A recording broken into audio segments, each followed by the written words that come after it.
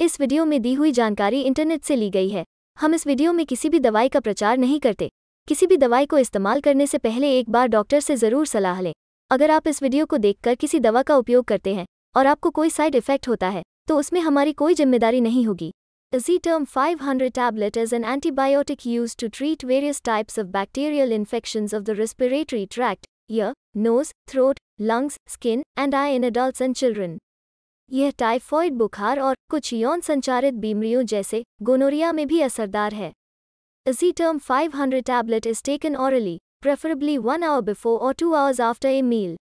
अपने डॉक्टर द्वारा निर्धारित अनुसार समान अंतराल पर नियमित रूप से इसका इस्तेमाल किया जाना चाहिए। बेहतर महसूस होने के बावजूद भी दवा की कोई खुराक ना छोड़ें और इलाज का कोर्स पूरा खत्म करें। दवाओं को भी बहुत जल्दी बंद करने से इन्फेक्शन फिर से हो सकता है या अधिक खराब हो सकता है। इस दवा के सामान्य साइड इफ़ेक्ट में उल्टी मिचली आना पेट दर्द और डायरिया यानी कि दस्त, शामिल हैं। ये आमतौर पर अस्थायी होते हैं और इलाज के पूरा होने के साथ कम हो जाते हैं।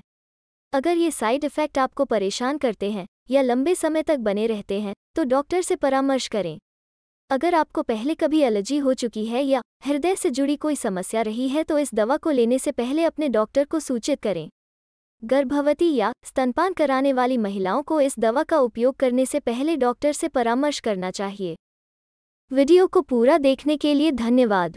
अगर आपको वीडियो अच्छी लगी हो तो वीडियो को लाइक करें और साथ ही हमारे चैनल को सब्सक्राइब करके नोटिफिकेशन बेल आइकॉन पर क्लिक करें और ऑल नोटिफिकेशन को क्लिक करें। धन्यवाद।